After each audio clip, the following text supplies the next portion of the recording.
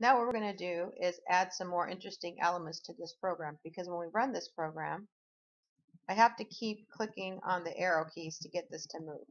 So it would make it kind of a difficult game if I have to keep pressing, keep pressing, keep pressing, and you see it's not going very far.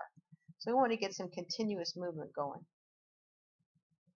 We're going to make some changes to this program to do the continuous mo movement. I'm not going to do a lot of explaining because the explaining is going to come in the homework videos that you're going to watch during this week. So we're going to go ahead and just do the code. You can kind of see what it's happening and what the code is doing and then when you hear it in the lecture it'll make the lecture make a little bit more sense. It'll be easier to take notes on I think after you've already done it and kind of experienced it. So we're just going to kind of dive right in.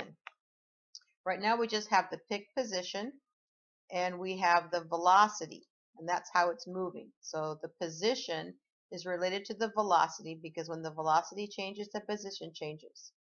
Now, if you've got any kind of physics going on, maybe you learned a little in your physical science class, you also know that velocity is related the same way to acceleration. So we've got pick position to velocity. We're going to have velocity to acceleration. So the velocity changes as the acceleration changes, and the position changes as the velocity changes. So we're actually going to be changing, instead of velocity here in our key down, we're going to change it to acceleration. So I'm just going to put an ACC, and our acceleration is going to be a little bit less than 4, because that would make it go really fast. So I'm just going to it, put it at 2. Now here where we had velocity, let's go ahead and change this to acceleration, ACC. Make that change now so I don't get an error later. And then instead of the pick position changing, um, what I need here is velocity because the acceleration affects the velocity. The velocity affects position. So I'm going to add in another global variable called pick vel for pick velocity. And its initial values are just going to be zero. It doesn't have any velocity to begin with.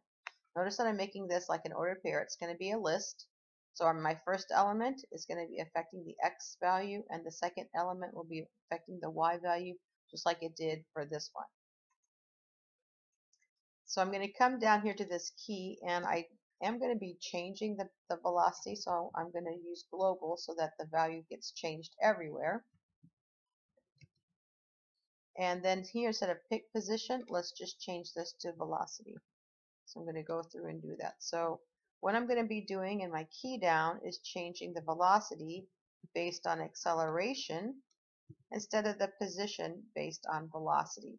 So it's just kind of a similar concept, but we're just kind of going up a level with velocity and acceleration instead of acceleration and position. Okay, now in my canvas, I'm always going to change the position based on velocity. So I'm also going to make it global. Here I'm going to make my pick position global because I'm going to keep changing its value and I'm going to be uh, um, incrementing my pick by velocity. So my first one, pick pause with element 0, which is my x, I'm going to increment always by the velocity. Pick vel element 0. Okay. I'm going to do the same thing for my element y, which is position 1.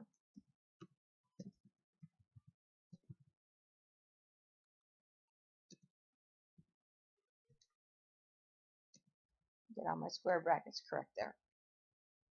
So my key down is going to change the velocity based on acceleration. And then my draw is always going to change the pick position and then draw the smiley.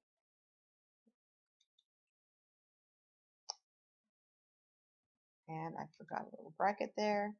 Okay, so you have to be careful with all your typing. Okay, so now notice how it keeps going. I only pressed once but it keeps going, and that's kind of the problem. I can kind of move it around. It should be coming back eventually. So it's working great, but it's not stopping. So we're going to add in, we have key down, we're also going to add in a key up so that it will stop and not just kind of go off the screen. So I'm going to copy this I'm going to paste it and I'm just going to make some changes. So instead of down, I'm going to say up. And I'm going to change all my pluses to minuses and all my minuses to pluses. So here I had a minus. I just want to do the exact opposite. So when the key's up, it's going to do the opposite. So just go through and change all your increments and decrements. Make sure that they do the opposite. Now that I have a key up, I also need to have a handler for it. So I'm going to come here where I did the key down handler. And let's add a key up handler, which is my key up function. So it should stop. So I'm going to press the arrow key one time, and there it goes. and I'm going to keep pressing it. As long as I keep pressing it, it goes, and when I stop pressing it, it stops. So I don't have to keep tapping it. I don't have to do tap, tap, tap, tap, tap. I can just hold, and I can do a couple of them at a time. So I've got some great controls. Now you can kind of see yourself playing a game with your picture, going around trying to catch or avoid things. Now I have continuous movement. I haven't programmed it yet to detect the edges, so I haven't crashed yet. I can go off. I can come back. So we'll be doing that later. If you want to go ahead and think about it now, you probably can. It's just going to be if statements. Everything we've learned about this semester, that's all we're using. So we're not even using any loops because this is interactive, but just think about your if statements. When do I want it to stop? And what do I want it to do when it stops? So at this point, you should have a great little character moving all around your screen. It's maybe your little image, your small picture, or maybe it's mine. But you've got it going. So this is a great time to save your program. You want to save it frequently so you can always come back if mistakes are made. We're going to keep building, so make sure you get this working perfectly before you go on to the next lesson.